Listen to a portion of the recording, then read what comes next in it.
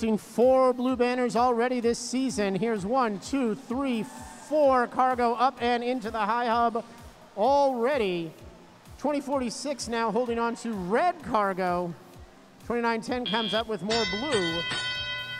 And Blue Lions will have the quintet. 26 to 14 is their lead.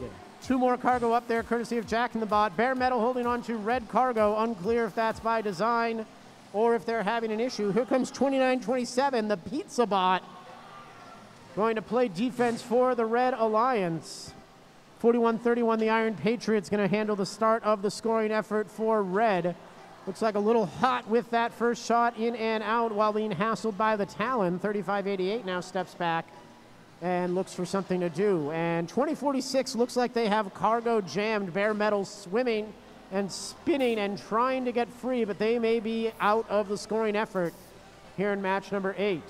41 to 21 is the tally as we're under 90 seconds to play. The Blue Lions just five cargoes short of a ranking point. Most of that thanks to Jack in the as 2910 puts two more up and in and another two right after that. This machine able to score as fast as any you will see here this weekend. Red Alliance not out of it, however. 44-69, Raid holding on to two red cargo. Their alliance partners 41-31. The Iron Patriots have some as well. And they are looking for a spot to connect. With 35-88, the Talon comes in and blocks the way to the fender. Raid spins around, moves to the other side, and one of their two cargo finds its way to the lower hub. One more point on the board for the Red Alliance as we hit 45 seconds. Blue Alliance has already secured that one ranking point for cargo. Now it's all about racking up the score and hangar points in the end. 29-10 puts two more up. 35-88 now motionless. Talon may having a maybe having a connection issue as we hit our last 30 seconds. 2046 steps in and plays a little bit of defense on Raid. Now gets clear.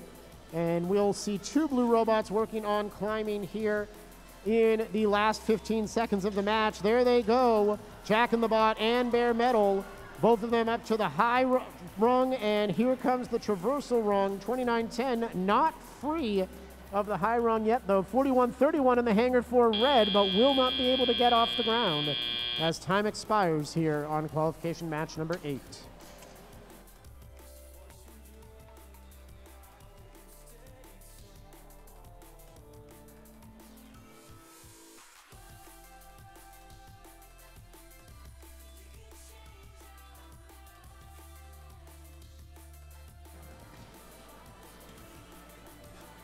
Quick confirmation on scores from our referees in qualification match number eight. And up on the big board, victory to the Blue Alliance. 94 to 31 is the tally.